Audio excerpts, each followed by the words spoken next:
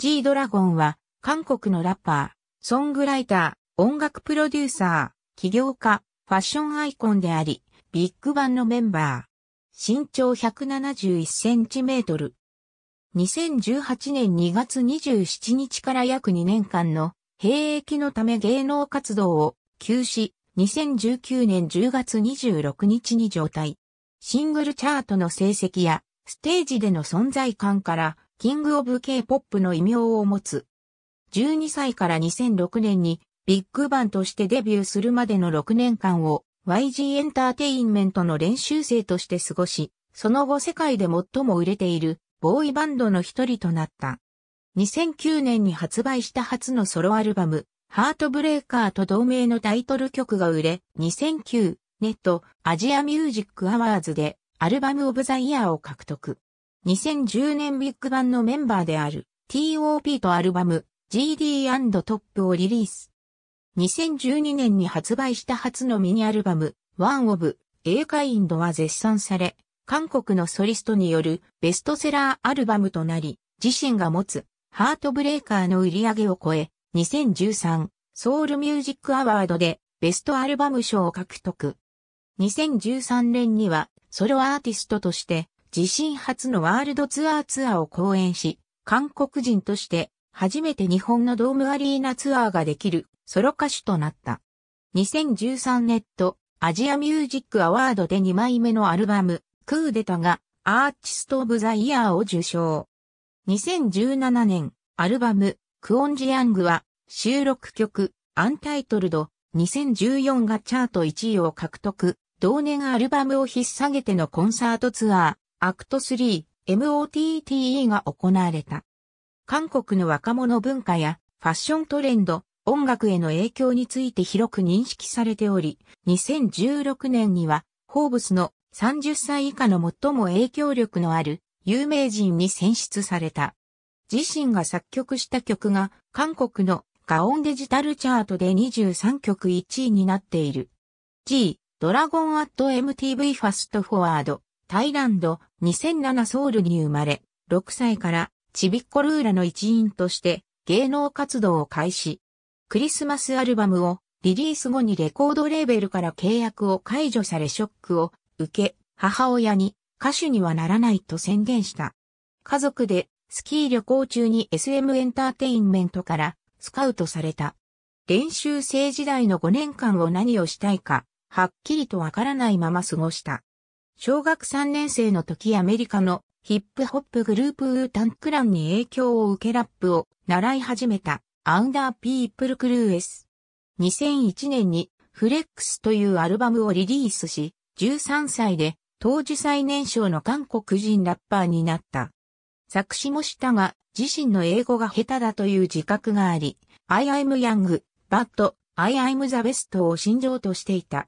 ビッグバンのメンバーである TOP とは中学からの近所の友人で一緒にダンスやラップをしていた。YG エンターテインメントのヒップホップデュオジヌセアンのショーンに興味を持たれ、同会社の CEO であるヤン・ヒョンソクに紹介され、YG エンターテインメントと契約。契約後に他の活動場所を引き払っている。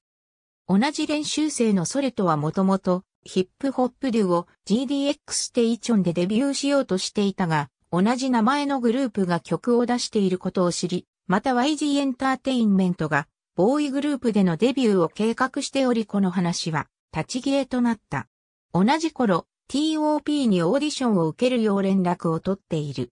G ドラゴン、ソル、TOP は、他の3人のメンバーであるチャン・ヒョンスン、D ライト、VI とグループを組んだ。このメンバーは TV のドキュメンタリー番組で紹介され、チャン・ヒョンスンを除いてビッグバンとしてデビューした。デビューアルバムであるビッグバンボリューム1が10万枚以上売り上げる成功を収めた。このアルバムに含まれる G ドラゴンの最初のソロ曲はアメリカのロックバンドマルーン5のシングル This Love のカバーだった。理由は作曲に参加し始めたのは2007年のシングル Always からでこのアルバムはまだ原点だからである。いくつもの曲を作曲しているが、シングル、大が最初のヒットであり、これに続き、アルバム、ホットイシュー、シングル、ラストフェアウェル、アルバム、スタンダップ、シングル、はるはるもチャート上位を締め作曲家として有名になるきっかけになったビッグバンの作品のほとんどを作曲し、2008年のソルのソロデビュー、ホットにも携わった後、同じくソルのソロ曲、パート2やオンリールックアットメも制作に参加している。2009年歌手のレクシーのアルバム、ラッシュ収録曲、スーパーフライにソルと TOP と共に参加。その後、ウィンズとシングル、レインイズフォーリン、ハイブリッドドリームでコラボレーションした。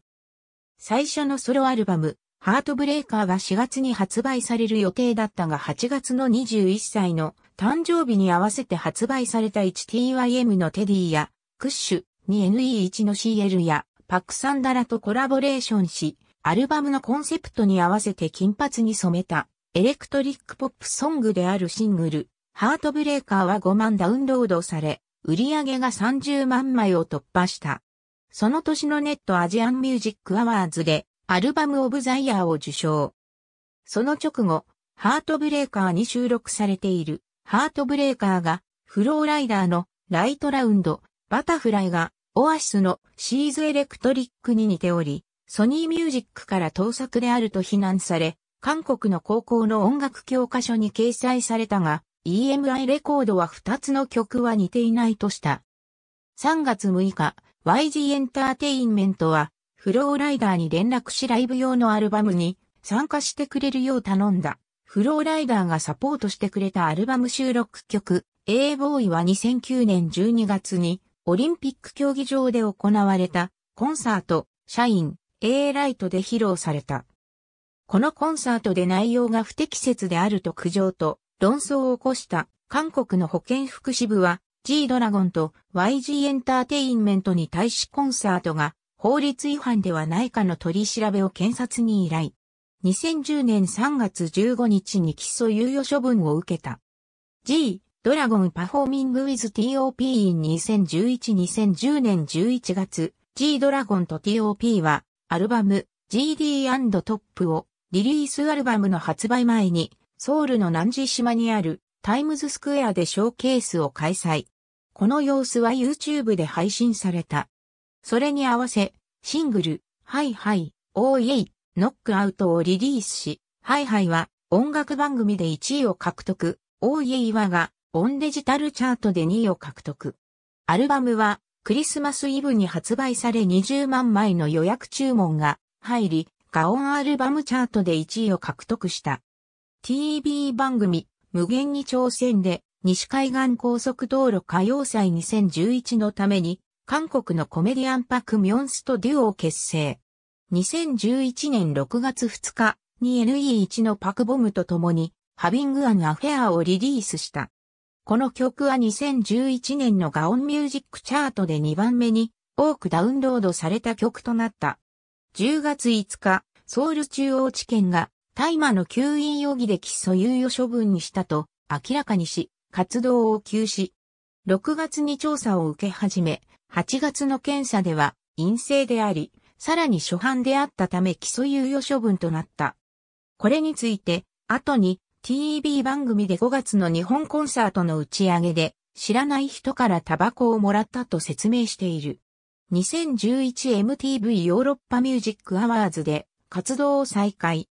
G ドラゴンパフォーミングオンビッグバンアライブギャラクシーツアー2012インセプテンバー2012ソロ活動ではピクシーロットのアルバムヤングフーリッシュハッピーの日本語バージョンを TOP と制作。2012年9月18日ファーストミニアルバムワンオブ A カインドをリリース。ビルボードのワールドアルバムチャートでは1位を獲得し、ビルボードホット200で161位に入った。アルバムのリリースをサポートするためにシングル、ワンオブ、A カインドを含めて3枚のシングルをリリース。ワンオブ、A カインドはガオンチャートで5位になった。この曲で韓国大衆音楽賞と第3回リズマーアワードで今年のラップヒップホップシングル賞を受賞。この年の1位は同じく自身の ZXX だった。さらに、アメリカの音楽雑誌スピンで、クレヨンが K-POP のシングルオブザイヤーを受賞した。2009年のアルバム、ハートブレーカーの売り上げが累計20万枚を超えた。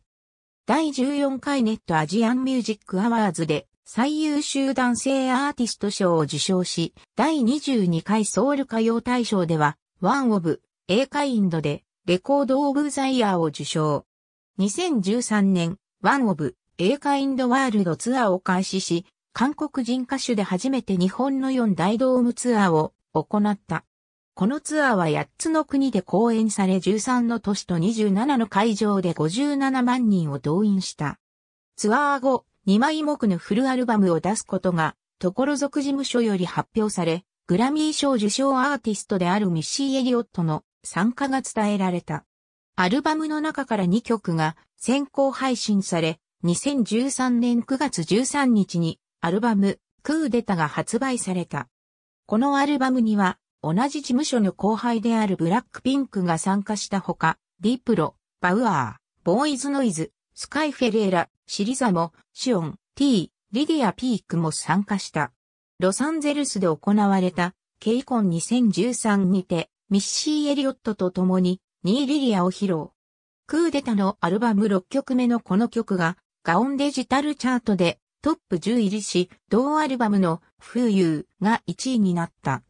このアルバムの収録曲であるクルックドは180万ダウンロードを記録し、YouTube の再生回数が1億回を記録した。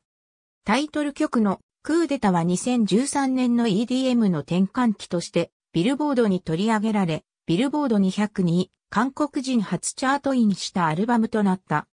アルバム、クーデタが第15回ネットアジアンミュージックアワーズにて最優秀男性歌手賞、ベストミュージックビデオ賞を受賞し、収録曲、クルックドでベストダンスパフォーマンス賞を受賞し、アーティストオブザイヤーを受賞した。ワールドミュージックアワードにて、ベストエンターテイナー、ベストアルバムを受賞した。2013年10月17日、臨神閣で行われた無限に挑戦の音楽祭に出演し、チョンヒョンドンと Going to Try を披露した。G、ドラゴンビケーム、A Face of a Being Before、アジアイン2015-2014年、同じ YG エンターテインメント所属アイドルであるに、NE1 のアルバム、クラッシュの収録曲、Good to You を作曲、プロデュースした。ソルの2枚目のアルバム、ライズの収録曲であるシングル、リンガリンガと、Stay With Me に参加。11月、ソルと共に GDX ステイチョンというユニットを組み、シングル、グッドボーイをリリース。ビルボードワールドデジタルソングチャートで、韓国人としては、サイトに NE1 に続き3グループ目の1位を獲得した。このシングルは韓国で120万ダウンロードを記録し、YouTube の再生回数が1億回を突破。ビッグバンとして合計で3億回の再生回数となった。同年12月、スクリレックスとディプロと共にダーティーバイブでコラボレーションし、これに同じ事務所の CL も参加した。ビルボードのホットダンス、エレクトロニックソングズチャートで15位を獲得し、ダンス、エレクトロニックデジタルソングズで21位となり、韓国人で初めてこのチャートに乗った。2015年、YG エンターテインメントの新人グループアイコンのデビューアルバム、ウェルカムバックをプロデュース。G ドラゴンが2015年から2016年の大半を費やしたメイドアルバムを引っ提げてのツアーは2年間で360万人を動員。無限に挑戦のフェスティバルに3度目の出演をし、初めてソルが出演。このユニットにゼ、A のファングアンヒが加わり、シングル、マプソザをリリース。ガオンデジタルチャートで2位を記録し、年間110万枚を販売。2015年で最も売れた曲となった。バラエティ番組、無限に挑戦の無版カンパニーのコーナーに、スペシャル出演。2話からなるサスペンスで、初めて演技に挑戦。バウアーのデビューアルバム、AA 収録曲である、テンプルに、イギリスのラッパー MIA と共参加した。ビルボードチャートのダンス、エレクトロニックデジタルソングズ部門で36位を記録、またホットダンス、エレクトロニックソングズ部門で26位を記録し、韓国人アーティストとして初めてチャートへ2度目の登場をした。2017年、シオン、T のアルバム、O の収録曲、コンプレックスに参加し、ガオンデジタルチャートで2位を獲得。IU のアルバム、パレットの収録曲、パレットにラッパーとして参加。ガオンチャートで2週間連続1位を獲得した。グループ活動が一段落した後、新しいソロアルバムの準備とツアーを開始。2枚目のソロアルバム、クオンジヤングのリードシングルとして、ブルシットをリリースし、TOP のスキャンダルの中、さらなる論争を避けるためラジオでアンタイトルド2014を発表した。6月8日、一般的には CD での発売となるが、アルバム、クオンジヤングは USB での発売となった。発売当初、ガオンチャートはこのフォーマットでの発売を正式なアルバムと認めず、ランキングに反映されなかったが、半年後に認められた。iTunes チャートでは、アメリカやヨーロッパをはじめとする46カ国で1位を獲得。アメリカでは、発売1日目で、自身のアルバムの中で最も売れたアルバムとなり、ビルボードホット200に3度目のチャートイン、ビルボードヒートシクサースアルバムスチャートで1位を獲得し、ビルボードワールドチャートでは何週間も1位が続いた。中国では、救急ミュージックで発売日のみで76万ダウンロードを記録し、過去最大の売り上げを記録。韓国では、発売から6日後、売り上げが100万枚を突破しこの年のベストセラーとなった。6月10日から2度目のワールドツアー、アクト3、MOTTE をスタートし、アジア、北、アメリカ、ヨーロッパ、オセアニアなどの29カ国で公演された。このツアーでは65万4千人を動員し、ヨーロッパとアメリカにおいて、韓国人が行った最も大規模なツアーとなった。2018年2月27日から2年間の兵役を開始、カンウォンドの第三不評師団への配属となったが、2018年10月以降から適用される兵役法改正により、兵役期間が短縮され、2019年10月26日に除隊した。2012年ペンションホテルを家族に送り、両親が経営している。2015年10月20日チェジュ島にマンサントカフェという名前のカフェをオープン。2015年9月、韓国のインディーズバンド兵庫が最初にこのカフェで演奏を披露したアーティストとなった。2017年には2軒目のカフェであるアンタイトルド2017オープン。このカフェの名前は自身の曲であるアンタイトルド2014からインスパイアされ、ボーリング場と並んで G ドラゴンがデザインした。チェジュ神話ワールドの YG タウン内に YG エンターテインメントのビルと共に建てられ、そこの大使になっている2009年に、喜び広し大学ポストモダン学科を中退、国際サイバー大学レジャースポーツ学科に編入した後、2010年に卒業。